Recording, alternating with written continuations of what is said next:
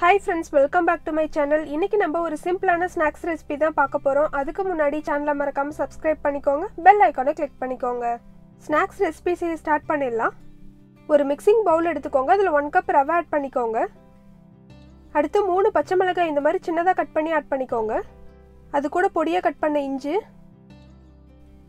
பொடியாக கட் பண்ண கருவேப்பிலை. பொடியாக கட் பண்ண கொத்தமல்லி. ஒன் டீஸ்பூன் மிளகு. உப்பு தேவையான அளவு ஆட் பண்ணி நல்லா மிக்ஸ் பண்ணி விட்டுக்கோங்க.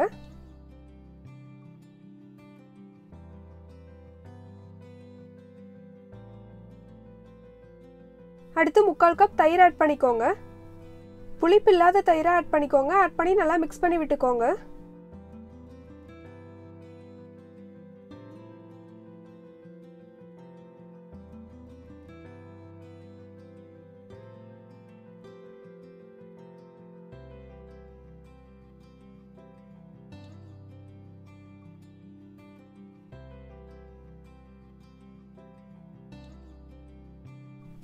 மிக்ஸ் பண்ணிவிட்டு ஒரு ஆஃப் அன் ஹவர் அப்படியே விட்டுருங்க. அடுத்து கையில் லைட்டாக தண்ணி அப்ளை பண்ணிவிட்டு கொஞ்சமாக மாவு எடுத்து மெதுவடை மாதிரி தட்டிக்கோங்க. ரவை நல்லா ஊறினா தான் வடை சாஃப்டாக இருக்கும்.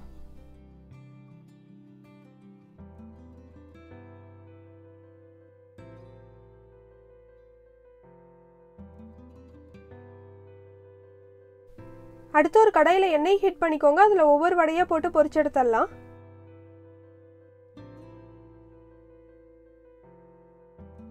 அப்பப்போ திருப்பி விட்டுட்டே இருங்க.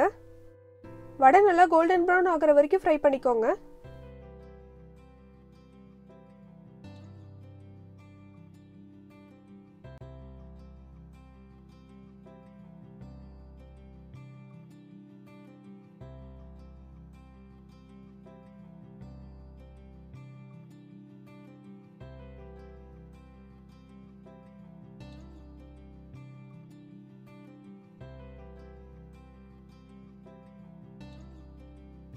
இப்போ பார்த்தீங்கன்னா வடை நல்லா கோல்டன் ப்ரௌன் ஆகிடுச்சு எடுத்துடலாம். கண்டிப்பாக இந்த ரெசிபி நீங்களும் ட்ரை பண்ணி பாருங்கள் அப்படியே மறக்காமல் சேனலை சப்ஸ்கிரைப் பண்ணிக்கோங்க பெல் ஐக்கானை கிளிக் பண்ணிக்கோங்க. தேங்க்ஸ் ஃபார் வாட்சிங் மை வீடியோ ஃப்ரெண்ட்ஸ் நெக்ஸ்ட் வீடியோவில் பார்க்கலாம்